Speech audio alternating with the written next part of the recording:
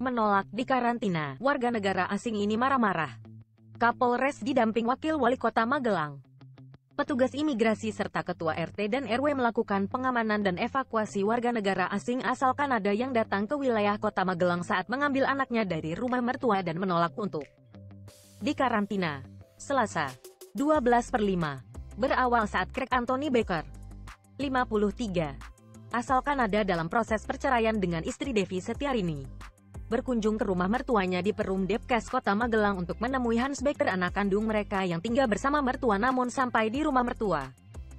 Craig Anthony Baker tersebut marah, marah dan membentak dan menolak untuk melakukan karantina. Meski dengan nego yang alot, Kapolres Magelang Ari Setiawan terus berusaha memberikan pemahaman dan pengertian akan pentingnya isolasi dalam masa COVID-19 negosiasi dari pukul 10 waktu Indonesia Barat akhirnya membuahkan hasil dengan datangnya. Petugas Laboratorium Dinas Kesehatan Kota Magelang ke TKP guna melakukan pengambilan darah untuk antisipasi penyebaran COVID-19 hingga pukul 15.45 WIB WNA asal Kanada SDR.